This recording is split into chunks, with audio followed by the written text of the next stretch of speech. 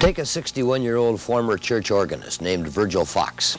Combine him with David Snyder's Revelation Lights and the 144-speaker Rodgers touring organ and the music of Johann Sebastian Bach.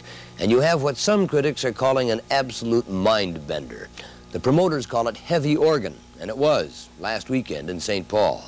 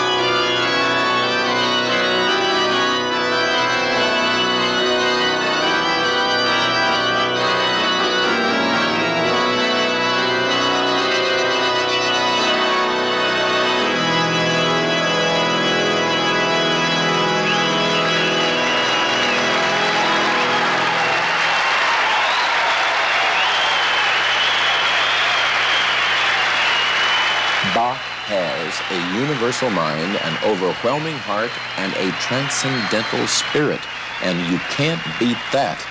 Once you've had a view of Bach, you never again will be the same.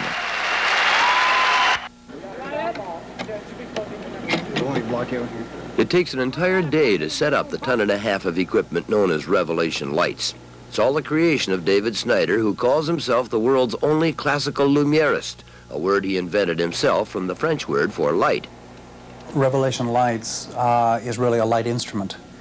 It is controlled by uh, a central console. It has 72 channels on it and dozens of switches, which give me the control of many motors, projectors, prisms, lots and lots of mylar and mirrors, little pieces of glass, little bits of this, little bits of that. But all of those little bits were hand cut and handmade by me and stuck on in a specific place, hopefully to do a certain job at a certain time. David Snyder doesn't like the term light show. He prefers to call what he produces a light experience. He feels that the light show techniques normally associated with rock concerts are hostile and percussive, and that he has brought the art to new levels of expression. Uh, I felt that uh, the light show that was uh, in rock halls had reached its limit. I felt that young people are becoming bored with rock, so the intent was to, to take a valid art form, uh, something that young people can, of course, relate to, which is lights, and to make this relevant to uh, the performance of classical music. Uh, hopefully people will tend to know Bach better in classical music, and perhaps even David Snyder.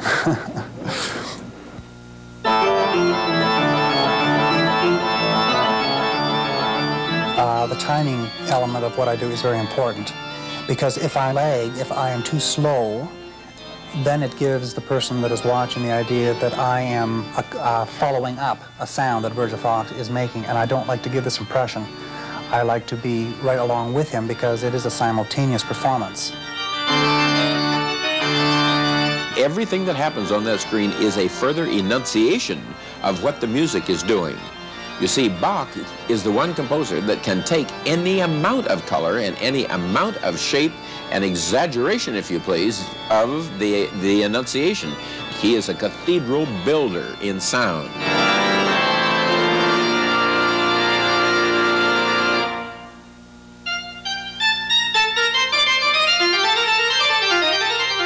I think that the Bach saw things music is vibration, light is vibration, and to listen to listen to sound somewhere inside of you, it has to strike your imagination. I think Bach would be delighted.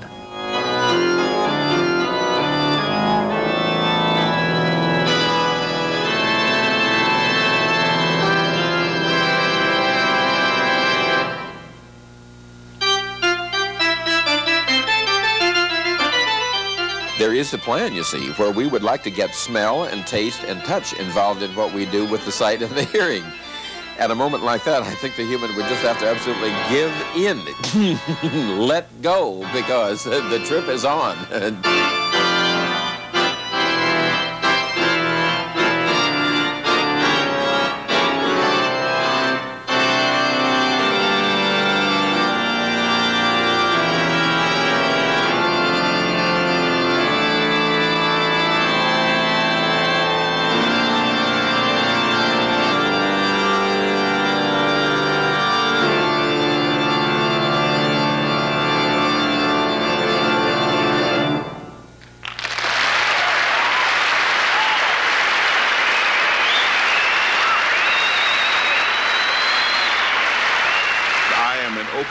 with a gang of creeps who call themselves purists.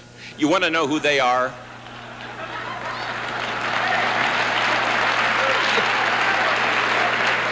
I'll tell you who they are. They're the ones that talk about it but can't do it. These oddballs call it the little fugue. They put on an eight and a two foot stop. You don't know what that means, but it's just a poop on one end and a poop on the other. And they sit there playing their little typewriters like note pushing nobodies during this piece. I'm going to give you the theme of the short G minor, and you decide whether this is heroic stuff or whether they are right. Here's the tune.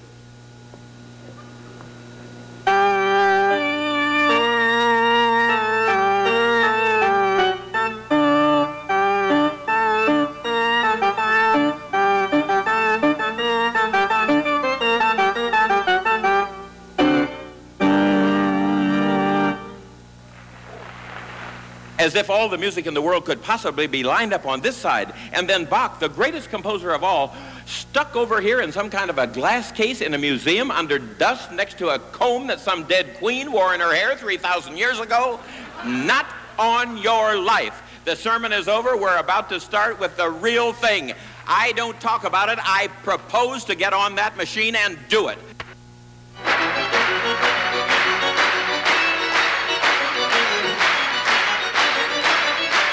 You see, the purists are a gang of absolute creeps who hide behind their little squeaky conversations about the limitations of 200 years ago. The mainstream of life is going right past them. They don't have blood in their veins, they have water.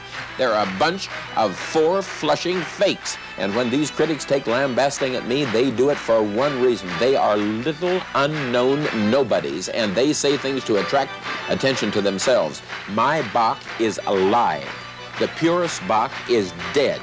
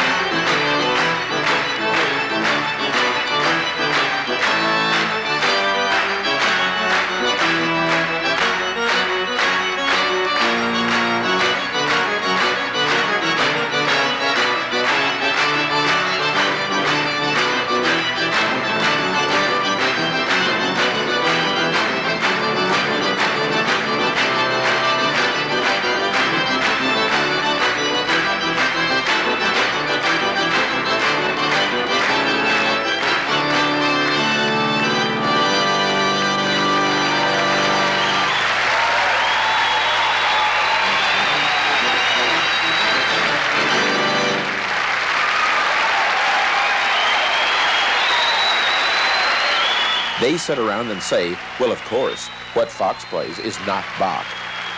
They are 100% in error.